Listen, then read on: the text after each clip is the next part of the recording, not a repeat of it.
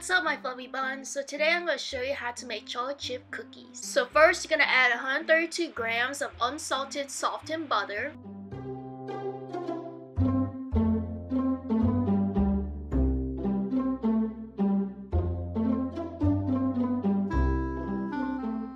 Then you're going to add 50 grams of white sugar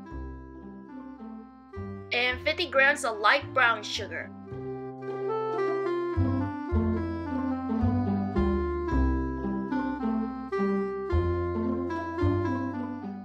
Then you're gonna add one room temperature egg. And then you're gonna add two teaspoons of vanilla. After mixing, I transfer everything into this bowl. Then I'm gonna add 100 grams of all-purpose flour that needs to be sifted.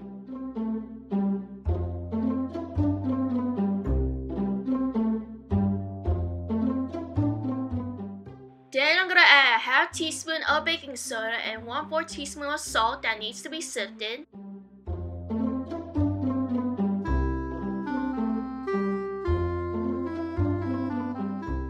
Since this dough is a little bit sticky, I'm gonna add another 100 grams of all-purpose flour that needs to be sifted.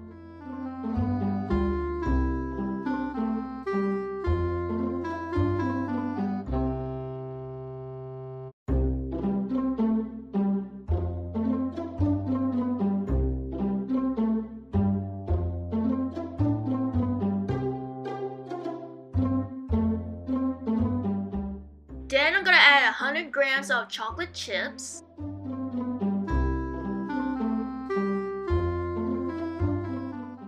Then I use my ice cream scoop just to scoop out the cookie dough and this makes about like 6 cookies.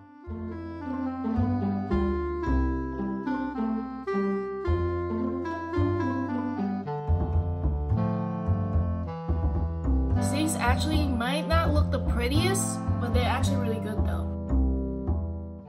So thank you guys for watching. Please give it a like if you like this video. Hit that notification bell to notify me this video. Comment whatever you want and subscribe and I'll see you guys in the next video.